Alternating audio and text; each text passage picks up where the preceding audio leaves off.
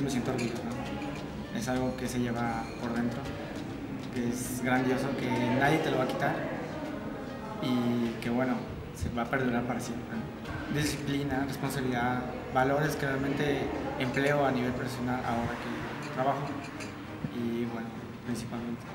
Que se esfuercen más, que hagan lo que les gusta, que tengan una disciplina para cumplir sus sueños. Ya sea lo que sea deportivamente o que sea profesionalmente, que le echen ganas a